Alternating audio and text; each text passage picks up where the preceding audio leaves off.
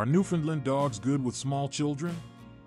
Newfoundland dogs, also known as Newfoundlands or Newfs, are a large and gentle breed that is often described as the gentle giants of the dog world.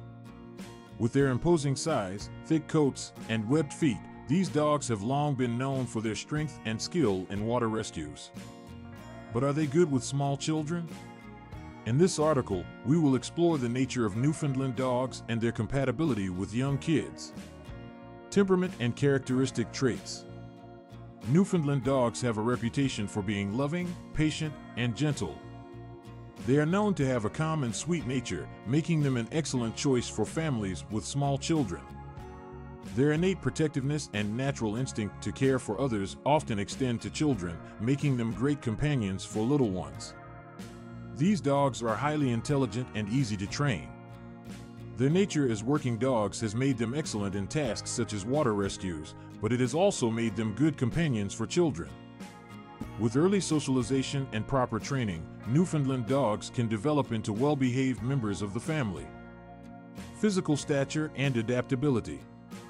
Newfoundlands are large dogs, with males weighing between 130 and 150 pounds and females weighing between 100 and 120 pounds. Their size makes them appear intimidating to some, but in reality, they are gentle giants who are naturally good with children. Their imposing stature even serves as an advantage as it allows them to protect and watch over their small human counterparts. Their thick and dense coats make them well suited for colder climates, but they can adapt well to different environments. However, it is important to note that their long fur requires regular grooming to keep it clean and healthy. This grooming routine can also be a great way for children to learn responsibility and develop a bond with their fur buddy. Supervision and interaction. While Newfoundland dogs have a gentle nature, it is still important to supervise their interactions with small children. This is especially true when both the dog and the child are still learning and developing their understanding of boundaries and appropriate behavior. Regardless of the breed, dogs should never be left alone with young children. This precaution helps ensure the safety of both the child and the dog. Teaching children how to properly interact with dogs is crucial.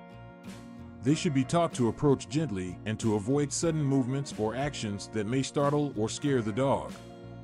It is also important to teach children to respect the dog's personal space, as all dogs, including Newfoundlands, appreciate having their own quiet area where they can retreat to when needed. Bonding opportunities. Newfoundland dogs thrive on companionship and enjoy being part of a family. They form strong bonds with their human family members, including children. The bond between a Newfoundland and a child can be truly special, as these dogs have a gentle and patient nature that complements the exuberance and energy of young kids. Daily activities such as walks, playtime, and obedience training can help strengthen the bond between a child and their Newfoundland dog. These activities can also help expend the dog's energy, which is vital for their overall well being.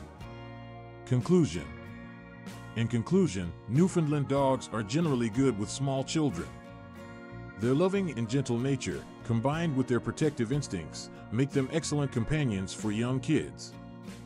However, it is crucial to remember that proper supervision and socialization are key to ensuring a harmonious relationship between a Newfoundland and a child. By teaching children how to interact with dogs safely and responsibly, the bond between a child and their Newfoundland dog can be one filled with love, trust, and lasting memories.